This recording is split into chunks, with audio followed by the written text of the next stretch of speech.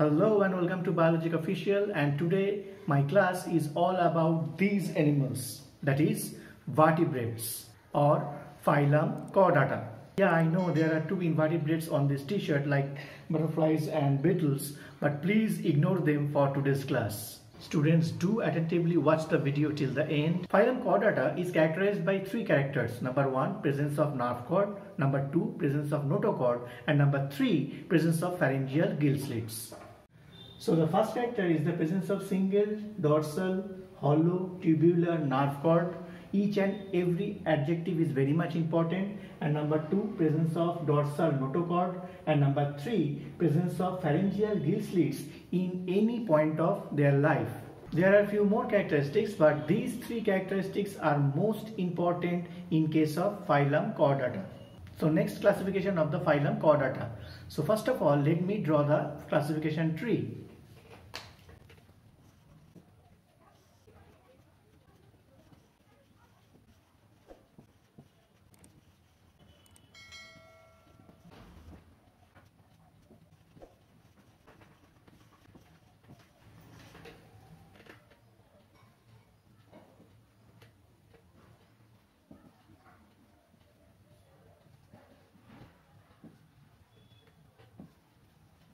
So the tree starts with the phylum Chordata. Phylum Chordata is divided into four subphyla, Hemichordata, Urochordata, Cephalochordata and Vertebrata.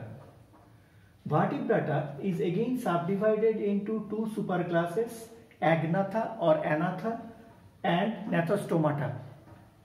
Sub superclass Gnathostomata is divided into six classes, Chondrichthyes, Osteichthyes, Amphibia, reptilia, aves and mammalia.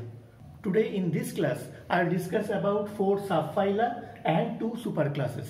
So first subphylum Hemichordata. Their body is soft and unsegmented. Body typically divided into three distinct regions like head, collar and trunk. The animals are ciliary filter feeders, nervous system primitive type and it mainly consists of subepidermal nerve plexus presence of buccal tube or stomochord. Notochord absent but nerve cord and pharyngeal gill slits are present. The larval form is called Tornaria larva and they are very much similar to the Bipinnaria larva of echinoderms. Due to the last two characters, some authors place them with invertebrates rather than chordates or vertebrates. The examples include Balanoglossus, Saccoglossus, etc.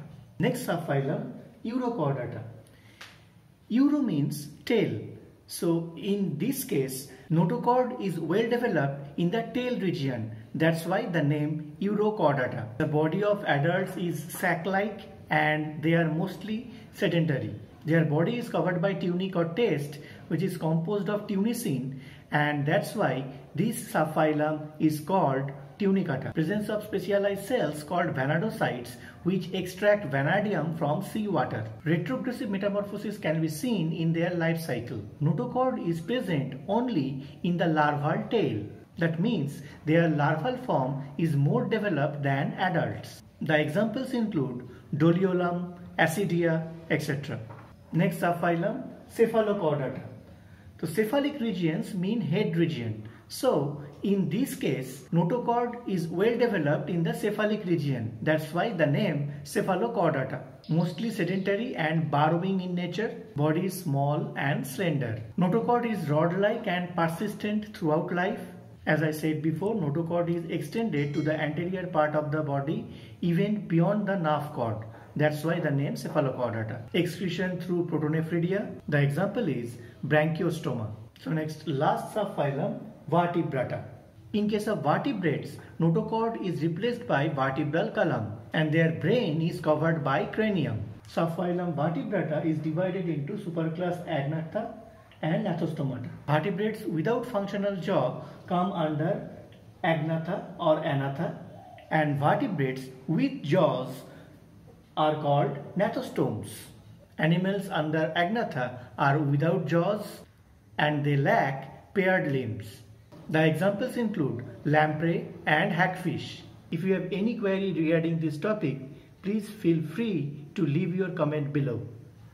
So that's all from today. See you in my next vlog of this classification series.